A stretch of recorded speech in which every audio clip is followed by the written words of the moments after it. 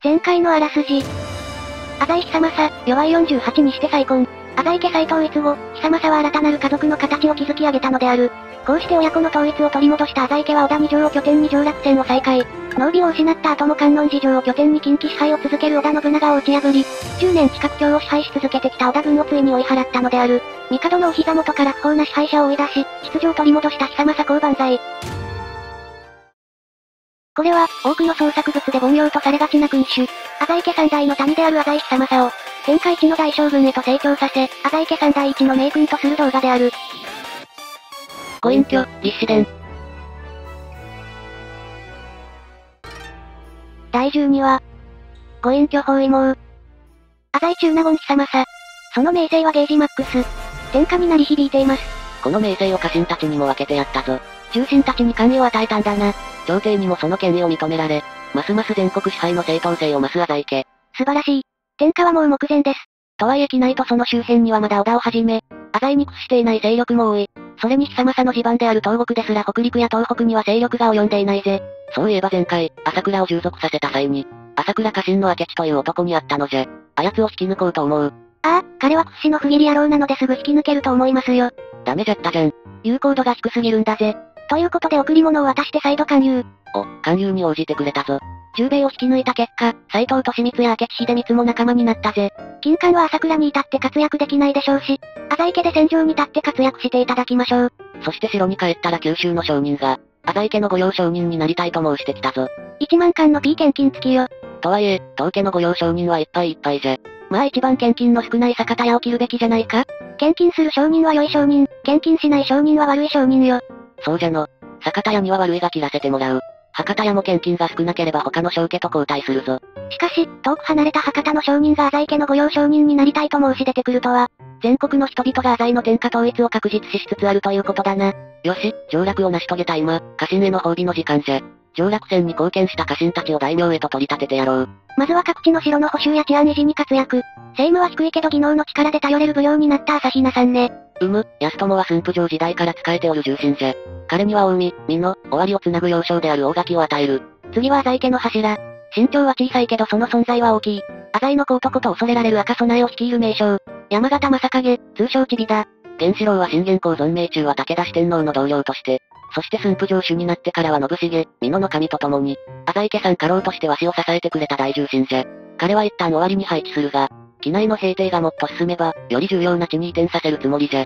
そして最後は狸親父家康。元は信長の同盟者でありながら織田攻めの戦法を張り、戦での活躍は抜きん出ているものの信用できない男よ。とはいえ、彼の中金には報いてやらねばならぬ。ということで松平家の本拠である西三河を返してやったぞ。クソ漏らし、そして所領喪失、久政に従属。よくここまで成長したな、家康。そしてこれが黄門様と配下の上司たちの一覧よ。ボンバーマン久秀の悪名がすごいな。どう考えても浅井久政の方が悪用を重ねてる。まあ寺に献金すれば悪名減るからね。よって、わしは武田家の中心であり、決して無本人などではない。いいねあ、はい。ちなみに優秀な利用として活躍する石川和正や、東国無双の本田平八郎は完全に徳川とは切り離し、忠実なる浅井家臣として生きてもらうぜ。そういえば小田二条って微妙に京都から遠くて交通の便が悪くないか？まあ防衛重視で利便性は悪いですよね。ということでもっと京に近いところに居城を移す。でも父助正が気づいた浅井家の本拠じゃないか。あんたも戻れて官無料みたいに言ってただろう？そんな感情論で天下は取れん。わしは六角氏の居城であった観音寺へ居城を移す。近江の支配者である佐々木氏の宗家、六角氏の居城。まさに近江の支配者が居城とするにふさわしい城じゃ。信長もこないだまで居城にしてましたしね。信長が安土城ぶっ立ててくれてたら壮麗な城を乗っ取れたんだけどな。でも安土城築城の条件には織田家による近江の完全支配があるから。つまり実質的に浅井家の滅亡が条件。今回のプレイでは築城させるわけにはいかなかったってことだな。ということで本拠地移転完了じゃ。結局小田二条が本拠だったのはたった半年ぐらいだけだったな。ちなみにこれが現在の黄門様の直轄領です。関東で搾取した富を海に注ぎ込んでるぜ。重要な地域は直轄領。山奥は家臣にあげる。これが浅井家の基本方針じゃ。ということで甲信と北関東は家臣に丸投げです。ということで内政問題は以上じゃ。では戦争再開ですな、黄門様。そうじゃ、まずは秋津島から織田を叩き出す。ちなみに重臣に城を配ったので、今回合戦に連れて行く武将は前までとは一新されている。ということでこれが一軍が抜けた後の浅井家二軍メンバーじゃ。これが本当に二軍なんですか？浅井家の家臣、層が厚すぎるだろ。北条家降伏後はわしの元でずっと畑を耕していた氏康。そして一軍に所属していた松永久秀の弟である松永長頼、さっき朝倉から引き抜いた光秀、蒲生貞秀の孫で有名な若者、蒲生則秀。この浅井家が誇る期待のホープたちで猿がこもる飯森城を攻める。ホープ？将来に期待できる武将は氏里だけだな。他は全員じじいだし。いや、中年無職から天下を目前にするわしを見よ。中高年でも活躍できるんじゃ。いや、活躍できてもすぐ死ぬから。あんたももうすぐ50だろ？長政への継承の準備でもしとくんだな。え？わしもう一回隠居しなきゃダメなの？ご隠居立志伝なんだからご隠居の状態で終わらなきゃダメでしょ。そんなルールは聞いてない。ということで何度も見た戦闘開始の文字とともに甲状戦スタートだ。氏康はギャンブルの獅子奮陣も安定感のあるモグラ攻めも持ってるからいいわね。貴様さも両方持ってるがパラメータが大違いだからな。軍事系技能では氏康よりわしの方が優秀だもん。そして秀吉は一週間粘ったものの、黄門様の説得に応じ降伏。こうして三英傑のうち、二人が浅い家臣になったわ。機内最大の織田家の抵抗拠点となっていた飯森城を落としたことで、摂津及び河内北部の平定は簡単に終わったぜ。織田はまだ機内に岸和田城を保持しておるが、浅井領と隣接する織田の拠点は全て平定し終わったの爆弾城さんの領土で一気が起きてるわね。悪名が高いからだろうな。さて、今回平定した領土一尾を違法したぞ。山形さんには河内北部、摂津を拠点に機内方面の軍団長をやってもらうわ。また小山田信繁から軍内に帰りたいという要望が聞こえた気がしたので、甲斐の国軍内地方を小山田領に、改善度を与えられていた鬼美濃には、代わりに小山田領の高遠を与えたぜ。という風にちまちま家臣の領土整理するのもこのゲームの醍醐味であります。ということで織田家の残党攻略は一旦正影に任せ、統治安定化のため、他の勢力の攻略を目指す。と、その前に久政公、さっき降伏させて家臣にした木下藤吉郎の屋敷を訪れるのです。このさっき仲間にしたばっかなのに、長年の重臣かのように表情の間にいるやつか？ああ、こいつからもらえるいい札があるんだ。なるほどのでは技能指示を受けるか。ええ弁舌の修行を行ってください。わしはもう弁舌の連達者と呼ばれておるのじゃが、まだ学ぶことなどあるのか？あったな、学ぶこと。千なり秒単。この合戦札を使うと特技ポイントが3増えます。まあ使うのに1消費するから実質2だがな。すなわちポイントの回復が早くなるというわけじゃな。ええ風林火山、三河武者、獅子奮陣。高コスト技を多く持つ黄門様にとって重宝する技でしょう。すでに軍神と呼ばれておるのに、こんな技を習得してしまってよいのか？わし、新しい特技を得て勢いづいたし、朝廷に献金、そして新たに朝敵を作って合戦じゃ。あ、これは前も遭遇したイベント。前回は貴様さの命を狙いに来た忍者の変装だったな。この衰弱が演技のわけがなかろう。この浅井久政、医者としての一面も持っておる。直ちに手当てじゃ。あ。あの衰弱は演技じゃないんじゃなかったんですか？天下一の大大名にして中納言ともあろう方が、ヤブ医者としての一面も持ってるなんてな。違うんじゃ。わしの目は正しい。こいつの変装が上手すぎただけじゃ。はいはい。中納言ともあろう方が今日の支柱で乱闘騒ぎとは。いや、わしは襲われとるだけじゃろうが。しかも命も狙われとるんやぞ。ここで負けたらゲームオーバーだから負けるなよ。さ、最悪の場合はオートセーブを使ってくれ。なんでそんなに弱気なんですか、黄門様。印籠見せれば角さんと助さんが飛んでくるだろ。いやその印籠を持ってるのは角さんじゃし。そもそもわしはその黄門じゃないし。一応今日の近くにはちびさんと爆さんがいるわよ。嫌な名前の付き添い人。でも中身は松永久秀と山形正景だぜ。本家黄門の家臣より大物じゃないか？そういう問題じゃない。というかわしが命をとして戦っとるんじゃから。試合に集中せい。いくら武力が低いとはいえ、武芸4ある人がそこらの下民に負けないでしょう。な、ほら勝ってるじゃないか。弱い時はみんなわしの個人戦を見てたのに、強くなるって悲しいことなの。黄門様、それよりもさっきの忍者がどこの里のものかの方が重要です。それでどの大名に雇われた暗殺者かわかるからな。ちょっとくらいわしの心配をしてくれんかのう。くない、痛かったんじゃぞ。あ、見つけました。間違いなくこやつですぞ。確かにこやつじゃな。所属はノキザルと書いてあるな。ノキザルノキザルというと上杉家に使える忍者だな。上杉が？浅井は上杉とはあくまで中立の関係のはずじゃが。これは謙信からの宣戦布告と見てよいでしょう。ああ、完全に喧嘩を売ってきたな。きっと軍神としての名声を欲しいままにする黄門様に、もう一人の軍神として嫉妬しているのでしょう。いや、そんなわけないじゃろ。上杉は一応関東関連なので浅井から関東を奪う算段なのであろう。これは許せません。軍神は黄門様だけだ。ということで東国の諸将に向けて上杉討伐令を送っておきました。いや、だから軍神は一人でいいとかそんな回戦自由じゃないと思うよ。そんなの検診に聞いてみないとわからないだろうよ。そうです。春日山まで行って聞いてやりましょう。と言いたいところですが、先に朝敵指名しようと思ってた家があって、そっちをサクッと取り潰して一語出兵しましょう。んどこの家じゃ？丹波の旗の家だ。今日に近い丹波を押さえておこうと思ってな。朝敵指名してもらうついでに献金したら帝から権大納言に任じられたわ。これで肛門じゃなくなっちゃったな。なんか残念。ということで本日よりわしはゴンのダイナゴンを称する。近江ダイナゴン万歳。そして今日で1年暮らしたことから悠長な都言葉使いとして知られるわしは、旗の家を朝敵指名しておくれやす。と公家に懇願。そして旗の氏は臨時により朝敵となったぞ。よし、じゃあ区内で受けた傷を治したら丹波出兵だな。と思ったらまた御用承認にしてくれと依頼が。今度は堺の天王寺やか。津田早急のとこだな。ちなみにこれが現在の御用承認ランキング。駿府の友の屋が貢献度12とたくさん献金してくれてるな。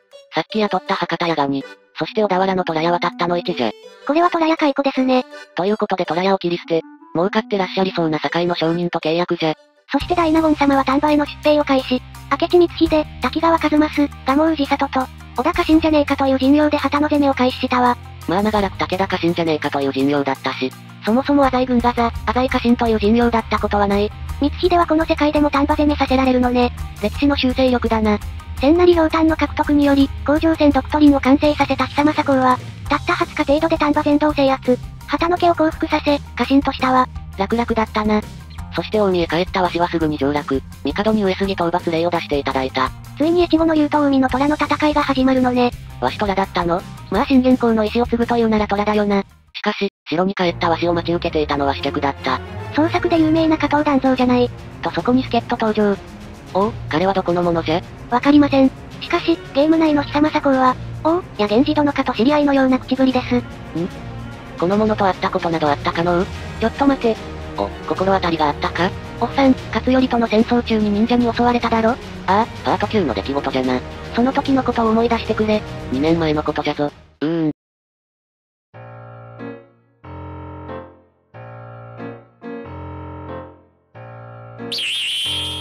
こ、こやつは勝頼の刺客としてわしの命を狙いに来たやつ。しかも、わしに対して覚えておけとまで言ってたやつ。2年前、武田の刺客として久政公の命を狙う存在であった彼が、戸隠衆が浅井についたことで久政公の護衛担当になっていたようです。人生というのはわからんもんじゃのう。2年前、こいつは久政に切り伏せられてたので、ちゃんと久政を守ってくれるか心配だったが、しっかり癖者を撃退してくれたみたいだ。彼も2年間修行したのであろう。しかし、上杉め、何度も暗殺などというせこい手を使いおって。謙信は義の武将と聞いておりましたが、事実は全く違うようですな。さっさと上杉を成敗しないとおっさんの命が危ないな。久政公の命を狙い、日の元を再び混沌に突き落とそうとする謙信を許すな。上杉との戦いを始める前に、まずは飛騨、越中、能登を抑えようと思う。三カ国とも小大名によって治められていますな。ということで飛騨の姉小路、越中の神保、能登の畠山、全員恩和に説得して同盟国としたぞ。全員武力で脅して従属国にしたの間違いだろ。そしてわしは朝倉殿を援軍として呼び、上杉が支配する越中東部、魚津城へと出陣したぞ。浅井朝倉連合軍が対上杉で結成とはな。この北陸遠征には本田平八郎や竹中半兵衛も参加しているわ。規模の小さい魚津城は2日で陥落。そしてこのまま謙信の本拠、春日山を叩く。思えば、久政公が今回のプレイで最初に戦ったのは、武田と上杉の戦いで武田方の武将として参加したものでした。うむ、そしてついにその上杉と決着をつけるわけじゃな。春日山は当然大軍がいるんだろうなと思ってたら、敵兵はたった3600人しかいないな。浅井家臣の上司たちが越後の東側を攻めてるみたいだから、そっちに援軍として送っちゃったのかもね。越後の言うといえども、魚津が2日で陥落し、浅井の本体が春日山まで迫る。というシナリオは想定外じゃったというわけじゃ。敵兵数が少ないので城内に煽って、敵を殲滅する作戦を実行。しかし、今は式の木猿が援軍としてやってきたようじゃ。忍者は厄介な技を使ってくるから気をつけてくださいね。その厄介な技に惑わされ、浅井軍にしては珍しく2000という大きな損害を出すが、敵に1万の損害を与えて野戦は圧勝。甲状戦を再開じゃ。しかし、兵数が少なすぎる上杉勢は諦めて撤退。本拠である春日山城を放棄して逃亡した。春日山を落とし、勢いづく浅井軍は、ついでに柴田城を陥落させてから大見駅間。その帰り道に蒲生のおじいさんが土地を城を陥落させたとの方があったわ。これで謙信は越後の北の端、本城城にまで追い詰められたというわけだな。そして近江に帰ったわしは再び上洛。今度は帝に本願寺に対する自罰臨時を出していただいた。浅井の天下を築く上で民草に力を持つ一向一揆は脅威となります。やはり早期討伐を行うべきですな。そして城に帰ると長政に話しかけられたぞ。さすがは久政公、為政者として民草のことを考えておられるのですな。そして我が英明なる息子長政は茶の湯で民を喜ばそうと提案してくれたぞ。長政自身は茶を振る舞っても有効度上がらんタイプの武将なのにな。そしてわしはどんな階級の者も参加可能な大茶会を開くことにした。みんなに太平の世の素晴らしさを教えるのじゃ。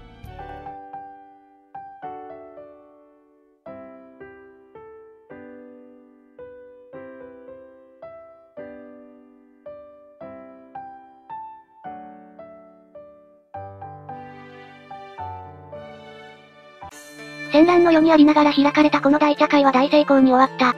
関東から機内まで、広大な範囲に平和をもたらしている浅井久さ。人々は皆、彼こそが太平の世をもたらす天下人であると確信したのである。わっはっは、我ながら素晴らしい催し物であったな。これで久政は明確に天下人と認められたわけだ。家臣もみんな茶の湯パワーで親密度マックスになってるわ。すごいな、大茶会パワー。関東や、甲信、東海に平和がもたらされていることは事実。じゃが、その他の地域では未だ戦乱が続いておる。久政公、我々には上杉、一方一揆、織田、その他あまたの敵がいます。天下を取るため、この久政包囲網を乗り切ってみせましょうぞ。包囲網っていうほどピンチには見えないんだがな。そうじゃの。絶対にこのピンチを乗り切ってみせる。落ち目の織田と上杉、そして一応勢力保ってる一向一揆。この史上最も軟弱なる包囲網が浅井大納言久政を襲うのであった。いや、今のわしはゴンの大納言ではない。ナイフ様と呼ぶがいいぞ。いつの間に昇進してたんだよ。次回予告。軍神はこの世に二人いらず、上杉謙信は自ら腹を十字に切り裂いて死ぬ。そして西国でもまた、一人の英傑が死を迎えようとしていた。戦場で散る者、床の上で行く者。浅井は本当に校舎になれたのであろうか？次回。ご隠居、決着。